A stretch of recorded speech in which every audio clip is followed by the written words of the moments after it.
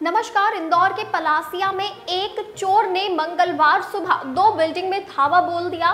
चोर यहाँ से एक लैपटॉप, आईपैड और चार मोबाइल लेकर भाग गया। वहीं पुलिस को बिल्डिंग के सीसीटीवी फुटेज मिले हैं। इसके बाद चोर की तलाश की जा रही है। पलासिया पुलिस के मुताबिक अक्षत अग्रवाल निवासी पदमालय कॉलोनी ने बताया कि वह बीएससी की पढ़ाई कर रहा है। अपने दोस्त सुभाष और सुधीर के पास अपार्टमेंट में रहता है।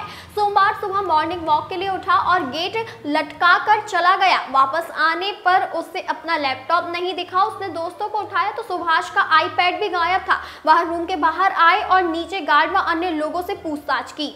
लेकिन जानकारी नहीं मिली। अक्षत के मुताबिक कुछ देर बाद उन्हें पता चला कि आरोपी पास के कांता अपार्टमेंट के एक फ्लैट से उनके परिचित अनिल बैरागी देवेंद्र यादव, रवि जाट और कुणाल गोस्वामी के चार मोबाइल भी चुरा कर ले गया है। उन्होंने थाने आकर पुलिस को जानकारी दी। पुलिस ने आसपास के सीसीटीवी देखे। इसमें एक चोर हाथ में लैपटॉप ले जाता दिखाई दे रहा है। पुलिस अब उसकी तलाश में जुट गई है।